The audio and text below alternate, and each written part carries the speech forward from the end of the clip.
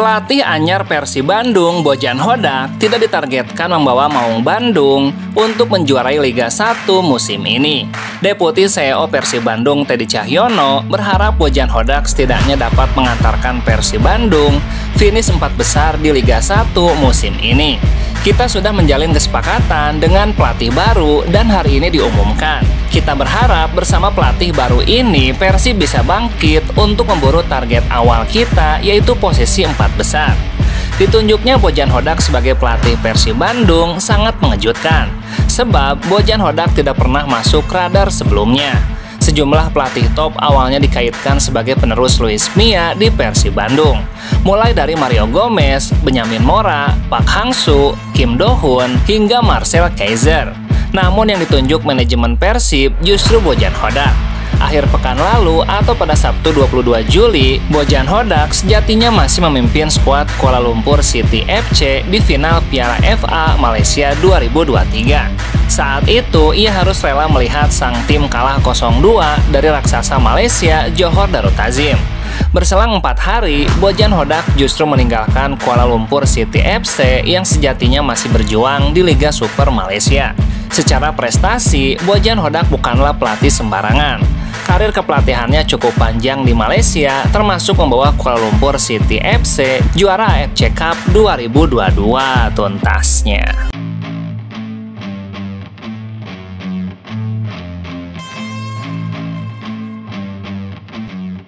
Sejumlah pemain yang selama ini membela timnas Indonesia U22 dan U20 telah menjalani pendidikan polisi dan dikabarkan bakal membela Bayangkara FC.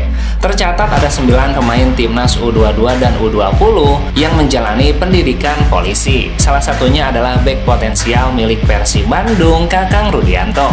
Keikutsertaan Kakang Rudianto dalam pendidikan kepolisian sempat memunculkan spekulasi pemain asal Cianjur tersebut bakal dilepas Persib ke Bayangkara.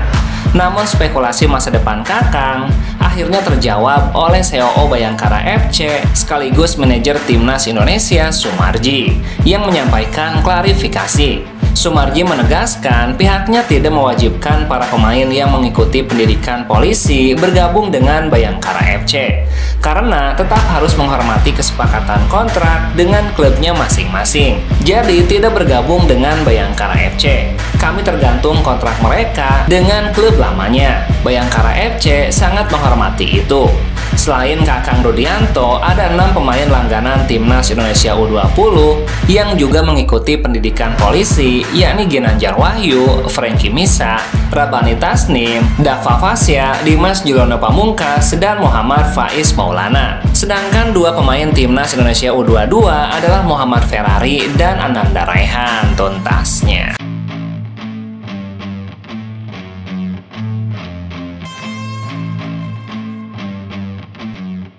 Gelandang muda Persib Bandung Beckham Putra memberikan komentar terkait keputusan timnya merekrut Levi Madinda. Beckham mengaku sangat mendukung keputusan tersebut karena Persib sangat memerlukan sosok pemain asing yang baru. Pemilik bernomor punggung 7 ini menilai bergabungnya Levi Madinda memang sangat diperlukan oleh Persib Bandung.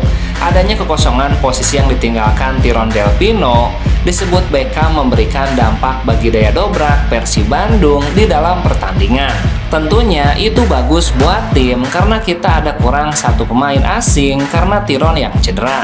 Meski belum bergabung dan berlatih bersama, Beckham yakin keberadaan Levi Madinda dapat menjaga keseimbangan tim. Apalagi hadirnya Levi Madinda juga diharapkan Beckham bisa menjadi pemecah masalah usai Persib meraih hasil minor dalam empat pertandingan sebelumnya. Itu sangat bagus bagi keseimbangan tim dan semoga bisa menjadi pemecah masalah di dalam permainan Persib Bandung tuntasnya.